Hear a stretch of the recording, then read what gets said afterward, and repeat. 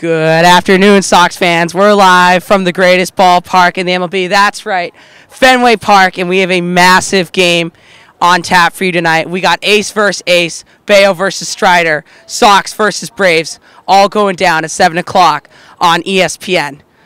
The Red Sox recently traded star outfielder Kike Hernandez to the Dodgers. We'll see how that works out. But last night, the Red Sox smoked the Braves, tallying over eight hits in five innings.